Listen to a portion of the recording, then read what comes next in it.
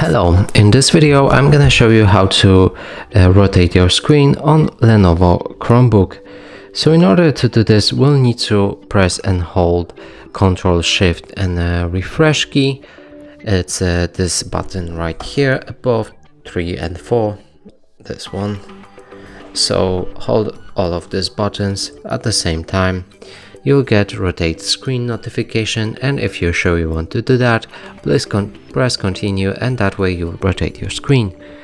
And now let's uh, try that again and again and again and that way we'll turn it back to normal. And that's it for this video. Hope you like it. Please consider subscribing to our channel. Leave a like and a comment below